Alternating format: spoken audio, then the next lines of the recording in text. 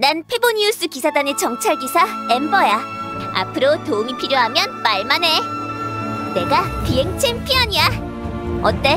내 솜씨 좀 볼래? 어떻게 비행 챔피언이 됐는지 알려줄게. 가장 중요한 건 용기야.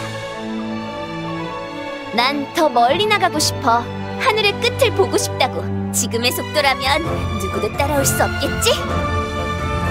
정찰 기사 목표 발견!